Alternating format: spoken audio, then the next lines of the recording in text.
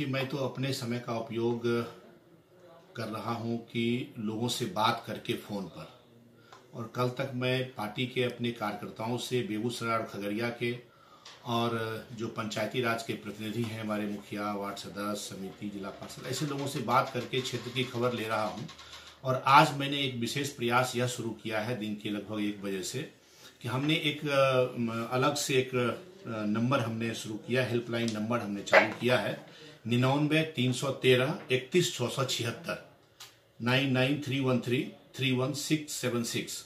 और इस नंबर को सोशल मीडिया के माध्यम से और अपने फ़ोन से मैं अपने पार्टी के कार्यकर्ताओं को और पंचायती राज के प्रतिनिधियों को भेज रहा हूँ कि इस नंबर पर आप अपने गाँव या अपने आसपास जो लोग बाहर से आए हैं, दूसरे शहरों से आए हैं या कहीं देश से बाहर से आए हैं, अगर उनका जाँच नहीं हुआ है तो आप इस जाँच के लिए हमें आप तुरंत इस फ़ोन पर इन्फॉर्म करें।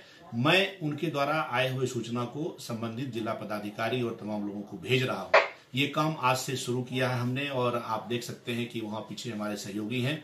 वो बैठ करके लगातार फ़ोन पर बातें कर रहे हैं और जो फ़ोन आ रहा है उससे प्रशासनिक पदाधिकारियों को उससे अवगत करा रहे हैं। इसका परिणाम भी ये आया है कि एक बजे के बाद से लगभग 30-35 जगहों से अलग अलग जगहों से कॉल आए हैं और सूचनाएँ आई हैं कि वहाँ बाहर से लोग आए हैं। और उसकी जाँच अभी नहीं हुई है। मैंने जिला के पदाधिकारी और संबंधित प्रखंड के सीओ को वीडियो को बताया है और वहाँ मेडिकल टीम गई हुई है। और मैं लोगों को अन्य भी समस्याएँ जो हो रही है, जो सूचनाएँ ये आ रही हैं कि दाम, जो खाने पीने की चीज़ों के दाम बढ़ रहे हैं या जो उसका शॉर्टेज हो रहा है, इसके संबंध में भी जानकारियाँ आ रही हैं। मैंने अपने कार्यकर्ताओं के माध्यम से कहा है कि आप ऐसी कोई बात अगर क्षेत्र में हो रहा है तो आप इसके बारे में तुरंत ये जो हमने हेल्पलाइन लाइन नंबर शुरू किया है, निन्यानवे, तीन सौ तेरह, इकतीस छः सौ छिहत्तर, इस पर आप तुरंत मुझे अवगत कराएँ। तो ये काम मैं यहाँ बैठ करके कर रहा हूँ।